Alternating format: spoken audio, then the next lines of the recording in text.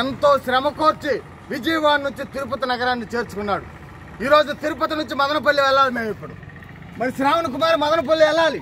అక్కడ వేలాది మంది ప్రజలు ఆయన రాక్ కోసం ఎదురు చూస్తున్నారు. ఆయన వచ్చేటువంటి రాక్ కోసం వేలాది మంది దళితులందరూ కూడా అక్కడ మదనపల్లి ఉన్నారు. కానీ పోలీసులు ఆయన అక్రమంగా ఈరోజు అరెస్ట్ చేసి ఆయన రూమ్ నుంచి కదలనివ్వకుండా ఈరోజు అక్రమంగా అరెస్ట్ చేయడం ఇది అప్రసాదము రాజ్యాంగ విరుద్ధం. ఆయన స్వేచ్ఛను ఆయన వాక్కు స్వాతంత్రాన్ని అదేవిధంగా రాజ్యాంగం కల్పించినటువంటి హక్కుల్ని పోలీసులు కాలరాయడమే. ఖచ్చితంగా తక్షణం శ్రావణ్ కుమార్ని విడుదల చేయాలి.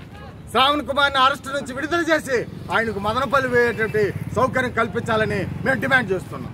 మీ